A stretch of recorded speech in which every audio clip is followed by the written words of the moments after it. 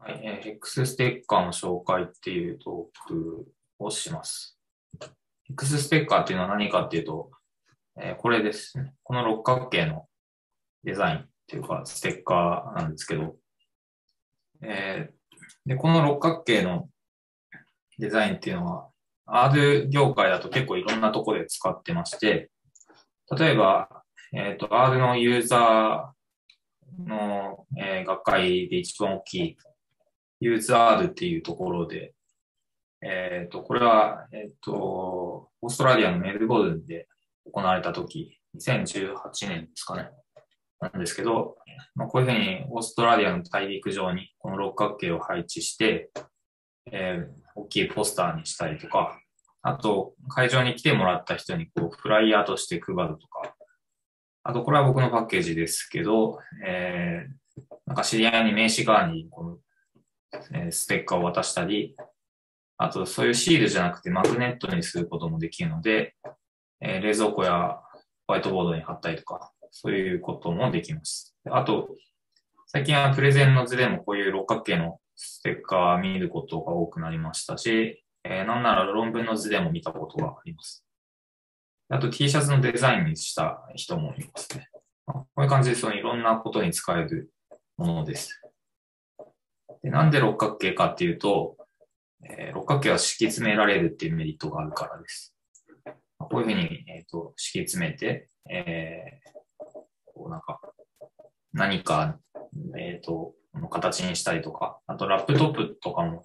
面積がそんなにないので、その狭い範囲でいろんなものを貼り付けるという時に六角形は便利だと思います。えー、もうちょっと,、えーと、数理的な話をすると、平面重点っていう話があって、えっ、ー、と、丸いものを敷き詰めようとすると、えっ、と、隙間ができちゃうんですけど、隙間なく敷き詰められる正多角形っていうのは三角形と四角形と六角形だけみたいで、これはなんかピタゴラスが証明したみたいなんですけど、で、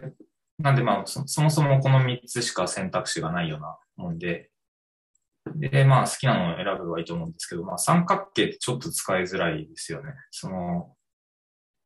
しなん底辺が長いのか、えっ、ー、と、この上の辺が長いものかで、まず2パターンできちゃうし、あと角のところってあんまり面積がないからそこに書き込めないっていうのもあるので、なんでまあ四角形か六角形かなっていうところだとは思います。であと六角形ってその、この中では一番円に近いので、その何かを丸く配置するっていう時に、えっ、ー、と、六角形の方がいいかなっていうふうに、えっ、ー、と、僕は思います。まあでも四角形でも良かったかもしれないんですけど、あとこれは、なんかこう、並べてるとこう、ハニカム構造ってこう、蜂の巣みたいなので、それもなんかこう、なんていうか、自然のデザインを取り入れたような感じがして、まあ、かっこいいっていうのはありますね。で実際、えっ、ー、と、いろんな人がこの六角形のステッカーを作ってまして、アーデスタジオの人たちもこういうふうにえ公開してますし、バイオコンダクターも、えー、いっぱい作ってます。あと、ヘックスビーンっていうページに行くと、これは R だけじゃなくて、えー、JS って書いてあるから多分 JavaScript とか、えー、まあ、とにかくテック系のものを全般をここで集めてたりもします。あと、これはニュートディバースっていう、なんか、なんかのプロジェクトですかね。なんかニュートリションなんていうのは栄養関係のプロジェクトなんだと思うんですけど、そのページに、まあ、こういうふうに、えっ、ー、と、作ったツールをえー、ヘックスステッカーとしてこう並べて、トップページにこう貼ってあって、なんでまあ、今までやってきたことをこう一つ一つこう六角形の単位に分けて、えっ、ー、と、こういうふうに並べて見せるというのは結構かっこいいんじゃないかなと思います。なんで結構この六角形のことについて語り出すと、えっ、ー、と、いろいろあるんですけど、えっ、ー、と、一回その IIBNP2019 年で、この話をポスター発表としてしようと思ったら、そのなんか不採択になってえっ、と、広報活動の意味合いが強く、本大会の発表内容としてふさわしいのか疑問視とか 学術的な議論ができるような内容ではないみたいなことを言われてしまったので、あんまりその、学術的じゃないのかな。よくわかんないんですけど。ただまあ、せっかくなんでこう、こういったところで、えこの情報も共有したいと思います。まあ、まあ、あの、査読はきちんとしているってことが証明されたわけで、ちょっとポスターをリジェクトされたことはなんか人生で初なんで、まあ、びっくりしたんですけど。で、えっ、ー、と、今日話すこととしては2つあって、えー、ヘックスステッカーをどうやって作るかっていうのと、あと、このステッカーをバイオコンダクターに登録する手順を紹介したいと思います。えー、まず、え、ステッカーの作り方なんですが、まずこの六角形に規格があって、えっ、ー、と、まあ、なんか、なんか2箇所なんか規格について言ってるところがあって微妙に違うんですけど、まあ、正正六角形で、えっ、ー、と、この一番長いところですね。この頂点から向かい側の頂点までが、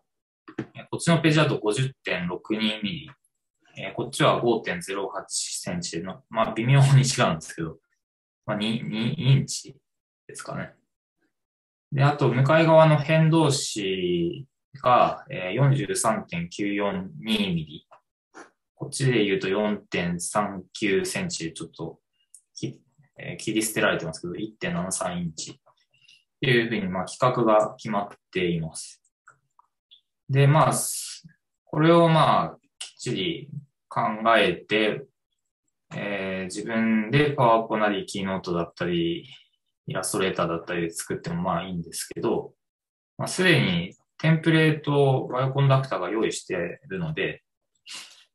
えっ、ー、と、まあ、このテンプレート、まあ、このリンク先行けば、まあ、こういうふうに、えっ、ー、と、中身が何も書かれていないようなもので、こう六角形の枠があるので、まあ、この上にこう、あの、自分のデザインをまあ貼り付けていけばいいわけですね。なので、まあ、このファイルをダウンロードして、えー、Adobe のイラストレーターだったり、GIMP だったり、 Inkscape だったり、まあ、そういう画像編集ソフトで編集するっていうのが、まあ、デザイン、ステッカーのデザインを作る、まあ、一つのやり方だと思います。あと、このページに、えっ、ー、と、実際に作る手順みたいなのも書いてあって、How to make your bioconductor sticker in 7 steps っていうのがあるので、えー、まあイラ、イラストレーターで作ってくださいということですね。えー、なので、まあ、こういうふうにやっていけば、まあ、最小限の作業で作ることはできます。あともう一つは、えー、コマンドで作るっていうことも、ね、できて、えー、まあ、もっぱらこのパッケージなんですけど、ヘックスステッカーっていう、本当にそのまんまの名前のパッケージが、えー、バイオコンダクターですかね。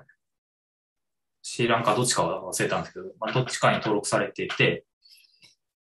えっ、ー、と、この、このパッケージを使うことで、えー、X ステッカーを作るということもできます。えー、例えば、あまあ、使い方は大きく2つあるんですけど、えっ、ー、と、このステッ、X ステッカーパッケージのステッカーって関数の中に、えー、プロットをする、えー、関数を書き込むと、この六角形のこの中にその結果を出力するっていう動作になります。で、えー、ローカルのこのパスにこういった名前で PNG ファイルが書かれるので、えー、まあ、これを使えばいいっていうのと、あともう一つは、すでに自分がそのパッケージのデザインを持っているときに、えー、この六角形の中にそれを埋め込むっていうやり方もできます。例えば、figures.cat.png っていうファイルをここではこの中に埋め込む。で、新たに六角形のファイル,、えー、ファイルとしてまあ出力しています。あでちなみにこのガンチャンビューってあの、この前バーシーアジアで、えっ、ー、と、スパイラルっていうパッケージを作っていた人なので、まあ、本当にこういう可視化関係のことが好きなんだなと思います。これもすごくシェアがあって、バイオコンダクターに登録されているヘクステッカーのかなりの割合がこのパッケージを使って、えー、作っているっぽいですね。なんで、まあ、これを使うというのも一つの手だと思います。で、次の話は、そういって、まあ、何らかの方法で作った六角形のステッカーをバイオコンダクターにどうやって登録するかっていう話です。えー、まあ、この、えー、 Bioconductor の GitHub の、えー、バイオ C ステッカーズというレポジトリに行くと、まあ、 README のところにこういうふうにたくさんステッカーが、えー、配置されています。で、まあ、すでに西田さんとか僕のパッケージはここに登録してまして、で西田さんは自分で、えー、GIMP かなんか使って、えー、作っていて、で、この AnnotationHub を使ってるんで、まあ、このデザインを継承しつつ、まあ、オリジナルで作ったから、まあ、こういう見た目をしています。で、僕は、えっ、ー、と、デザイナーに発注して作ってるんで、まあ、もうちょっと凝った、えー、ステッカーになっています。で、こういうふうに最終的に、まあ、ここのページに登録してみんなに見てもらうっていう状況にどうやってするかっていう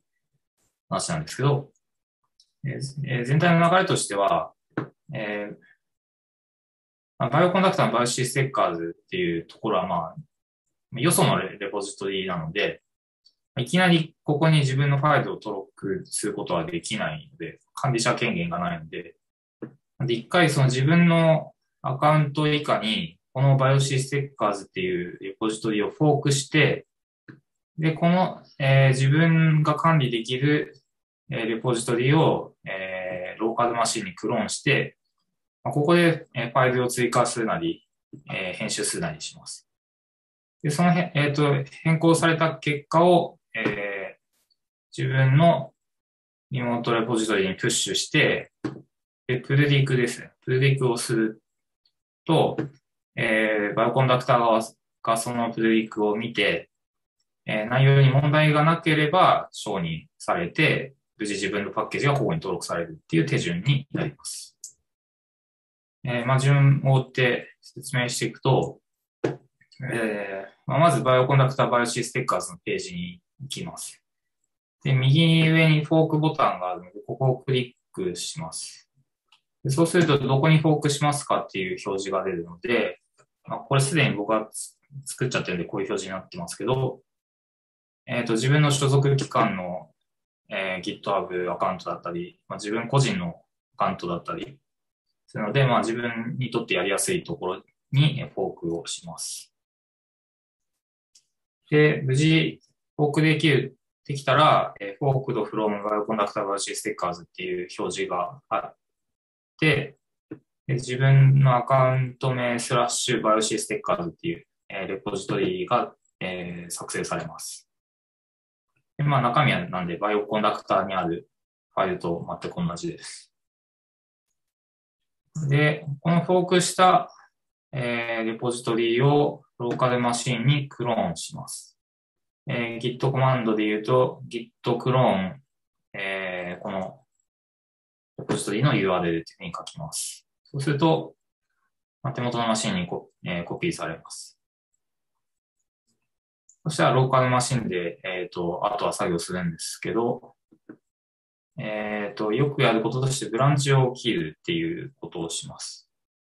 えー、まあ、その IOC ステッカーズディレクトリがまあ手元にできるので、その中に入ったら、えー、git remote add upstream Bioconductor BiocStickers っていうふうに言って、これは何をしているかっていうと、まあ、この、えっ、ー、と、ローカルのレポジトリは、えー、この Bioconductor の BiocStickers と関係してますみたいなことをまあ登録する、えー、コマンドになります。であとは git チェックアウトっていうコマンドを実行すると、えー、ブランチというものができます。えっ、ー、と、まあ、なんか自分一人で、えっ、ー、と、ツールを作ってるとあんまり僕自身もまあ実際使わないんですけど、何も考えないと、その、マスマスターじゃないや、えっと、メインっていうブランチがそのままこう、枝が伸びていくだけなんですよ。あ、で、ちなみにその、マスターは、ま、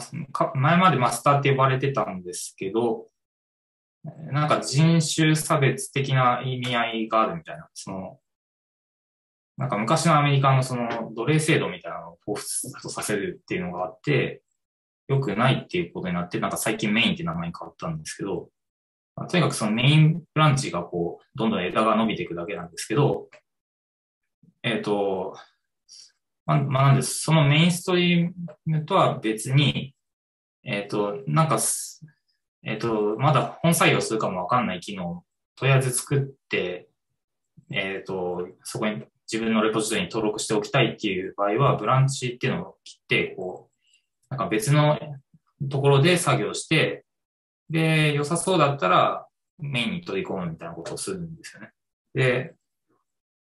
えっ、ー、と、なんかプレディクするときはなんかブランチを切った方がいいみたいなので、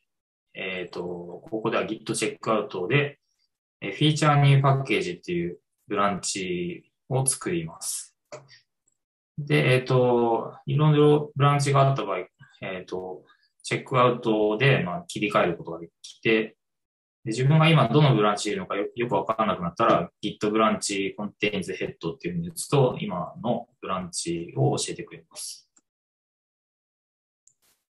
で、そのブランチの中に入ったら、えー、ファイルを編集します。えー、ステップとしては4つあって、えー、まず、えーと、自分のパッケージ名のディレクトリを作ります。えー、例えば AH エドワードベース DBs っていうパッケージのステッカーを登録したい場合は、そういう名前のディレクトリをメイクディレクトリします。で、その中に移動して、そのディレクトリ内に画像ファイルを配置します。えっ、ー、と、まあ、ラスター形式とベクター形式両方、えー、置いておくっていうのが推奨されているので、例えば Ping と EPS とか、えーまあ、JPEG でもいいし、あと、Adobe のイラストレーターのファイルの .ai とか、まあ、TIFF とかですかね。まあ、そういうものをまあ複数用意しておくと何かと便利なので、まあ、そういうのが、えー、推奨されています。あと、ディレクトリー内で readme を作成します。えー、このこのこのファイルですね。えっ、ー、と、このディレクトリーにその GitHub のページで移動すると、最初にこう出てくる画面っていうのが readme になるので、えっ、ー、と、他のパッケージでどういうふうに書いているのかを参考にしつつ、まあ、こういうふうに書いていくと、えー、まあ、このパッケージはこういうデザインなんだなっていうのがすぐわかります。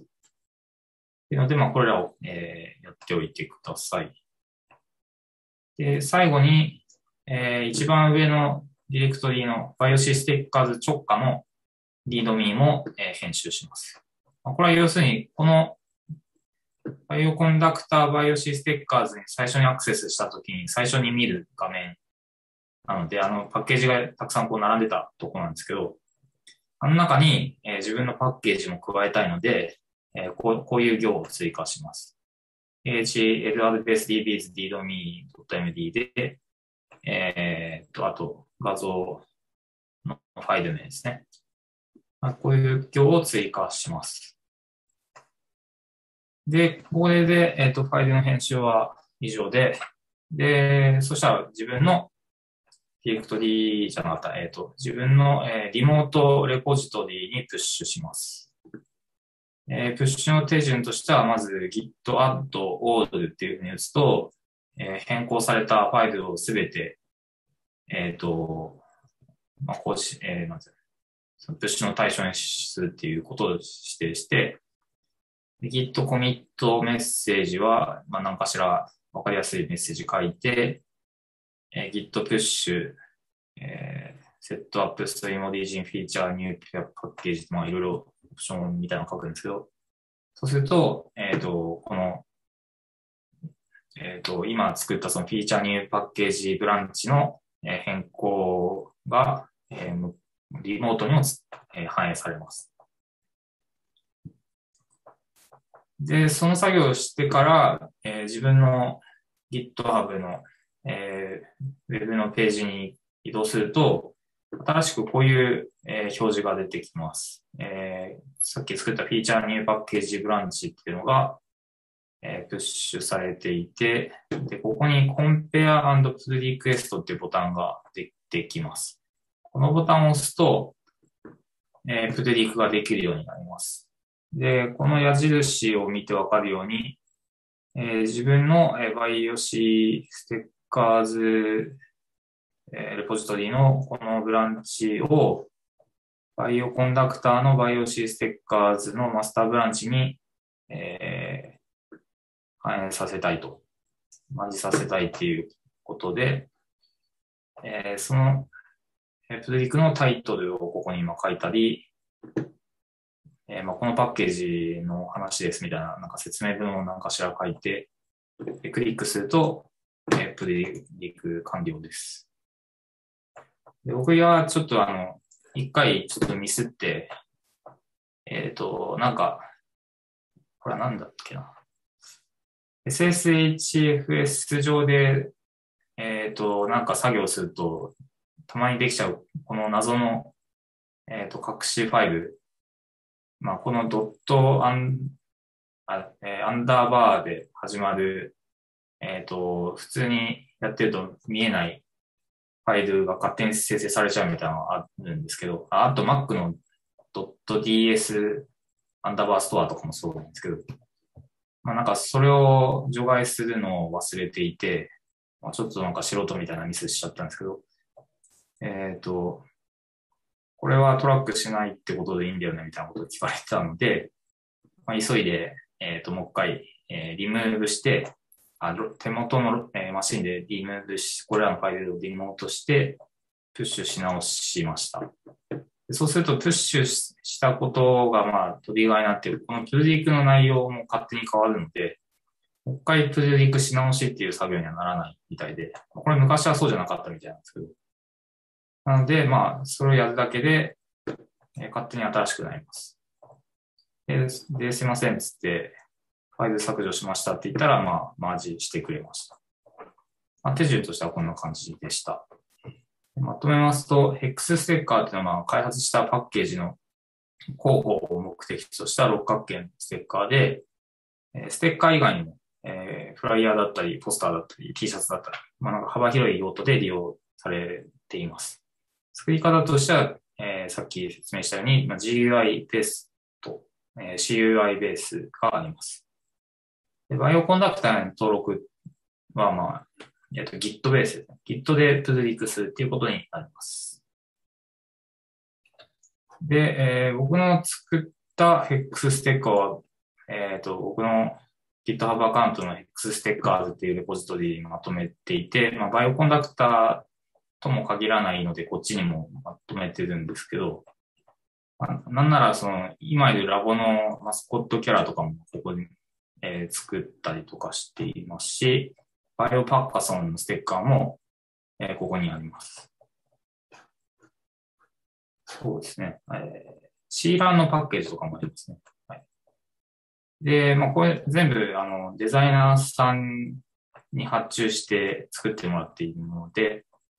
で、バイオパッカソンではデザイナーさんと連携して、まあ、こういったステッカーの作成を支援しているので、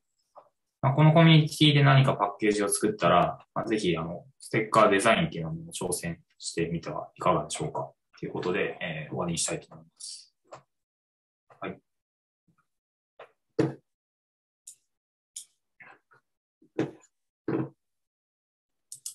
あ何か質問やコメントがあれば。なんか、ポスト発表落ちるんですね、あれ。落ちるみたいですね。あれちゃんあれ、ちゃんとレビューしてるってことなんですよね、あれ。っ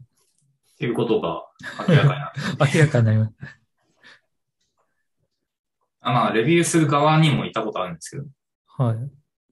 まあでもよっぽどおかしいやつじゃないとポスターはリジェクトしない気がするんですけど、まあ、よっぽどおかしいと思われてたんじゃないですかね。そうですね、なんかあの、イントロダクションぐらいはなんかバイオ、なんか普通、バイオイン、 Bioconductor みたいなことをイントロで書いてたら、なんかまあ、まあ僕もそれっぽく書いたんです。それでもダメなんですね。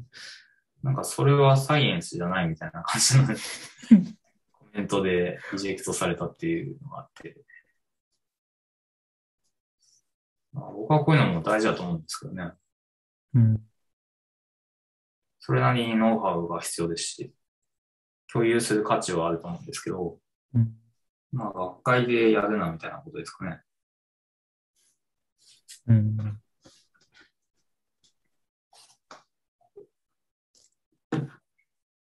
まあ、その時のメンバーのさじ加減な部分が大きいので、まあそうですよね、なんか。今もう一回やったらどうなるかわかんないですけど、い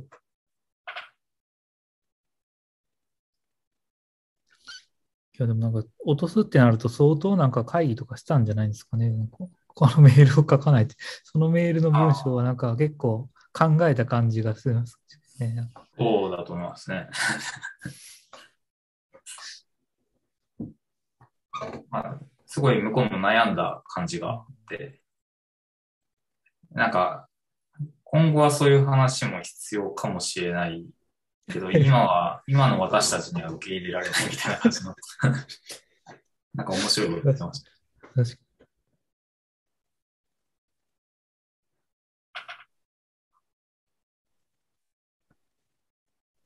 まあ久米さんのは今作ってますからね。はい。AH バイオイメージ、あ、違う、バイ、はいバイオイメージ。はい、はい。なんで、あの、ローディングスパッケージとかももし、ステッカー作りたければぜひ、ご連絡ください。すごく、あの、かっこよかったんで、自分も欲しいなと思ったんですけど、その予算的なのってどう、どうしたぐらいを考えとけばいいとか。あー、えっ、と、そうですね、あの、デザインだけで数万みたいな感じで、はい。それを実際に物にして、あの、ステッカーとか、ステえーマグネットとか、まあ、マグカップでもいいかもしれないですけど、ななんか物にして受け取るってなった時に、ステッカーだったら100枚で、いくらだったっけな？100枚単位で発注する感じになって、はいえっ、と、ちょ、ちょっと僕、い大量に毎回お願いするんで、1個あたりが計算できないんですけど、えっ、と、10個ぐらいお願いし、10個じゃないか。10個ぐらいはお願いして、えー、100万いかないかなぐらいだった気がするんで、おでもい1個のパッケージだったら、ステッカー100万、100枚、200枚吸っても、まあ10万いかないぐらいじゃないですかね。多分おうん。ちょっと予算申請からしないといけないんで、社内の。はい。あぜひ、あ。はい。作りたいです。ちなみに僕は研究費でやってまして、科研費で落とせてますね。ちょっと企業だとまたうんそこは全然違うんだと思うんですけど。はい。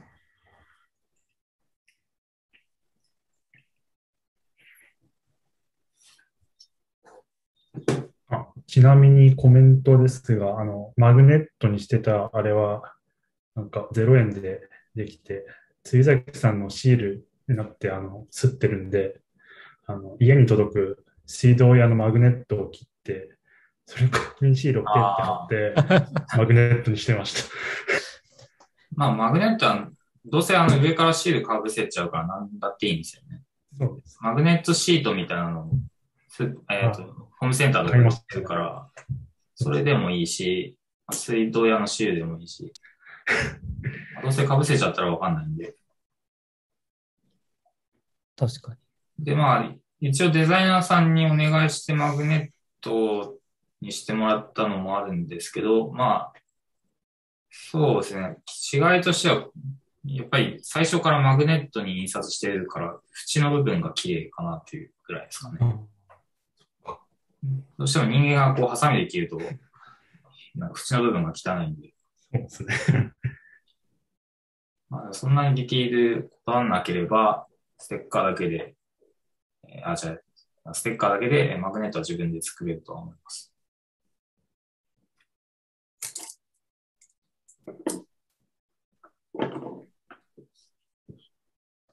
あと結構シールの素材とかもこだわれるみたいなんで、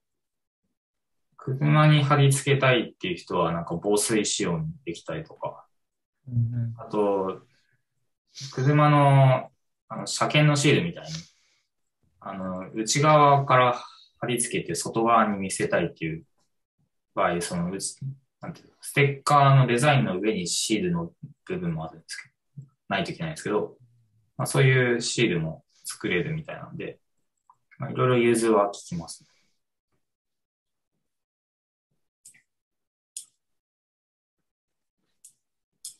なんか実験の計測機器とかにその後使う解析パッケージとかのシールを貼ったりするような文化とかはないんですかね。いや、その、この機器使うとこういうデータシート出るから、